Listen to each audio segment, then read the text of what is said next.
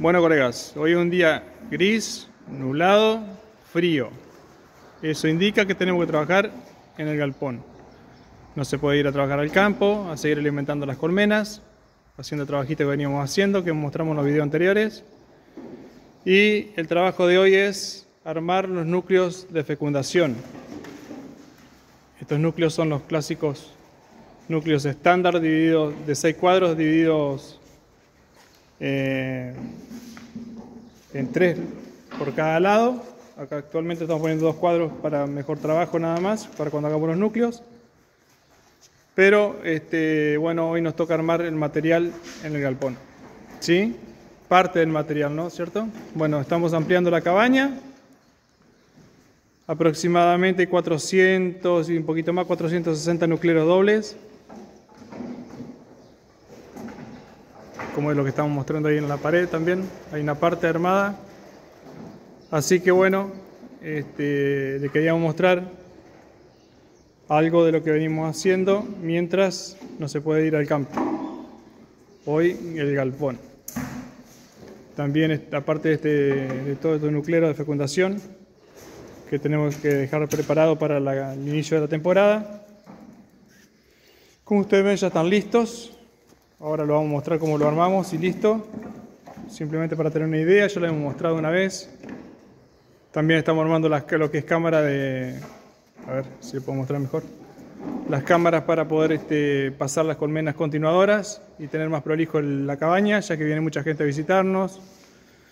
Importante tener una cierta prolijidad, ¿no es cierto? Mantener este, un cierto nivel para, bueno, para que todos se pongan contentos y tener un, una linda, una linda foto, si fuera el caso, ¿no? Este, bueno, ahora le vamos a mostrar cómo lo armamos. Mientras tanto le cuento cuando nos preguntan, porque ustedes vieron que tenemos distintos colores, ¿no? Hay azul, blancos, verdes y amarillos. ¿Por qué los colores? Tantos colores. Una vez nosotros le contábamos que mientras hacíamos este, la fecundación, lo que necesitamos es la disposición del material en el campo, en la cabaña, ¿verdad? Para lograr buena fecundación. No solamente es importante la disposición, sino que nosotros tenemos una arboleda interesante, importante, que también ayuda al sentido de, orientación. Y los colores son fundamentales también, ¿verdad? La mezcla de colores, que van desde el rango, ya le digo, de lo blanco, azul, verde y amarillos. Estos tonos en realidad que nosotros venimos dando, creo que lo hemos explicado en videos anteriores, pero no viene mal repetirlo, es porque eh, son los tonos que compartimos, los tonos de colores que compartimos nuestra visión junto con de la abeja, ¿verdad?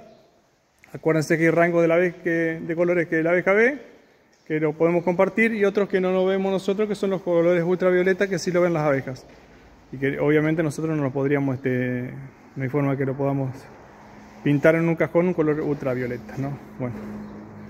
Entonces eh, ahí viene el tema de los colores. Y de paso mejoramos lo que es la, orientación también de la abeja. Colaboramos en ese sentido, ¿verdad?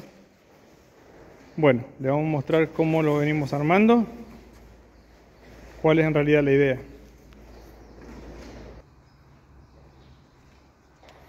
Bien, lo que le queríamos mostrar, colega, era lo siguiente. Los cuadros que le ponemos adentro, siempre lámina estampada, ¿verdad?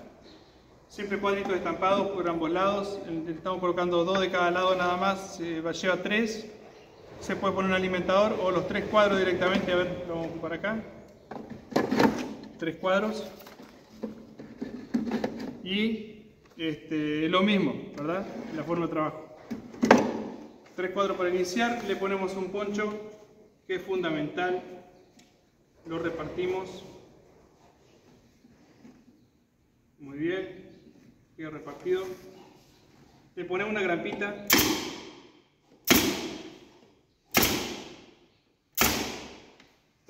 ¿Para qué la grampita? Simplemente cuando vamos al campo. Esto podría quedar suelto tranquilamente. ¿Qué es lo que pasa? Que si nosotros lo dejamos suelto con el viento, ¿verdad? El núcleo, cuando esté chico, no logra pegar al nylon. Y cuando nosotros queremos destaparlo, se puede volar el nylon. Y se puede pasar una reina de un lugar al otro, ¿no es cierto? Dos nucleares.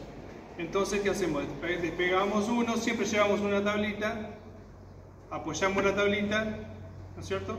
Quedan perfectas condiciones. Seguimos trabajando. Trabajamos este núcleo, cosechamos la reina o hacemos el trabajo que tenemos que hacer, lo, de siempre. Pues cerramos, volvemos a abrir el resto, colocamos una tablita arriba y no nos moleste, seguimos trabajando normalmente, ¿verdad? Más que nada es para eso, eh, es muy simple el trabajito que hay que hacer. Bueno, ahora después de hacer ese trabajo, en el campo se lo tapa.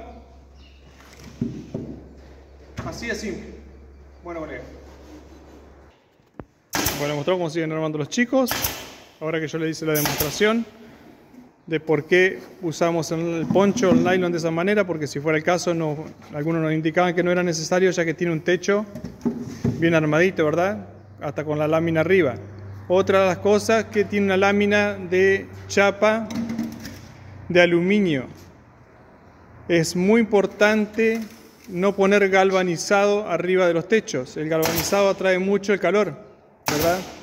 Cuando o, lo mismo es dejar la madera sola, cuando lo dejamos en el campo, al rayo del sol, en caso que no, no tengamos alguna media sombra para ponerle, lo que ocurre también es que este, se calienta mucho la chapa galvanizada. Si vos la llegas a tocar con la mano, te das cuenta que te quema. Después de las 11 de la mañana aproximadamente te quema la mano. Si le llegas a poner aluminio, lo podés tocar a plena siesta que no te quema la mano. Es decir, transmite muy poco, muy poco la temperatura y el núcleo puede seguir trabajando hasta más tarde o más tiempo durante el día. Eso es una para responder algunas preguntitas de por qué teníamos algunas chapas que se dan cuenta que son de, chapa de, imprenta, son chapas de aluminio de imprenta porque algunas están todavía, como ustedes pueden ver ahí, un poquito manchadas con la, con la tinta, ¿no?